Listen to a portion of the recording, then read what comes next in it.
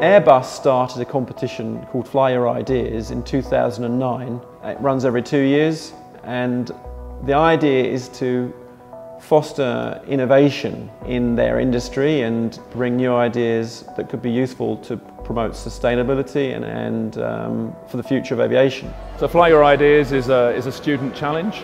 The idea is that we're inviting student teams from around the world to think about ways in which we can make the uh, aviation industry more sustainable, more eco-efficient.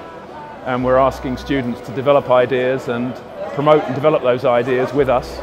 And we've set up a, a structured competition to enable them to do that. My project is ALMA, Affordable Liquid Methane Aircraft, uh, which we are proposing a transition of fuel from, from traditional kerosene fuels to liquid methane, which is a cheaper and more carbon efficient alternative.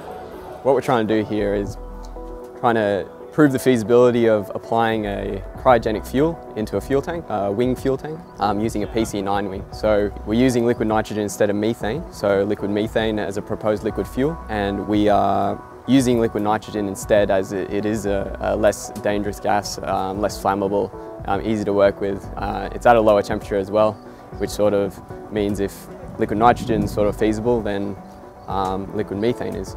HIAS is a personal in-seat entertainment system and what we're proposing is that instead of the current in-flight entertainment systems, what would happen is people would bring on board their own iPads or tablets and be able to mount them on the back of the seat. There's a keyboard that shines down onto the tray table and then all of the media which is currently available would just be streamed to your own device. So you'd still be able to watch all the movies, TV shows, even look at the in-flight magazine all on your tablet. It's important for Airbus for a variety of reasons.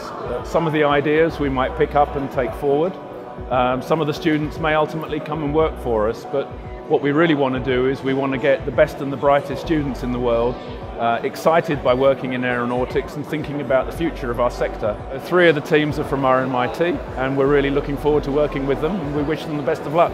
International competitions like this are really valuable because they make students aware of the broader context of their education, how they fit within the world as it were and, and what their future careers could be and it makes them recognise that the world does need innovation and change and they can contribute to that. They're not just a hopeless cog in the system. They can actually make a real difference and there's somebody listening to them. So you know, there's an opportunity for them to really come up with exciting and innovative ideas which could potentially make the world a better place.